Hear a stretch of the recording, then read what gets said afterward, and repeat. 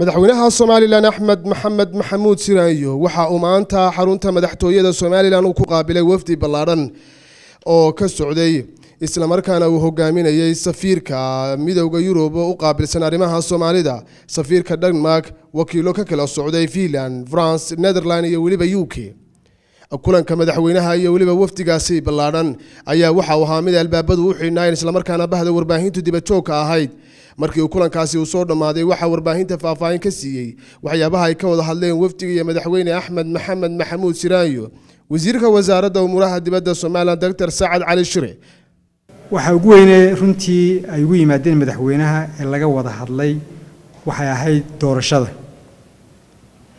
Sidii loo sugi lahaa doorasho xor oo xalaala oo nabad ah waxaa laysla gartay inay ahmiyad inay muhiim tahay in cid waliba ay u hoggaansanaato nidaamka iyo anshaxa doorashooyinka xisbiga iyo maxaan idhahdaa iyo taageerayaashuba runtii inaynu sanadkan aynu sidii horeba aynu u soo maray aynu maxaan idhahdaa ku guulaysano doorasho xor oo xalaalii wax weyn bay maxaan idhahdaa iyo magac weyn bay u keenaysaa dalka somalilan.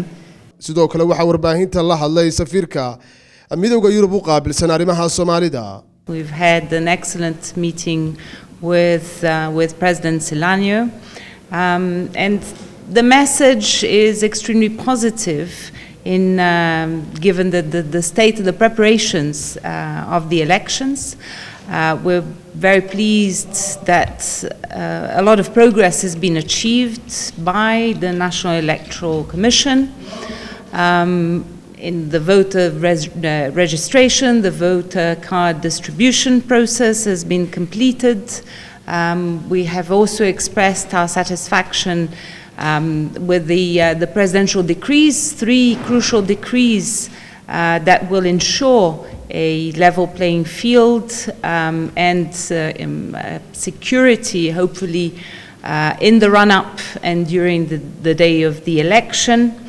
Um, and we still have five weeks ahead of us. And during these five weeks, there are a number uh, of, uh, of things we, that still need to be done. Every day counts.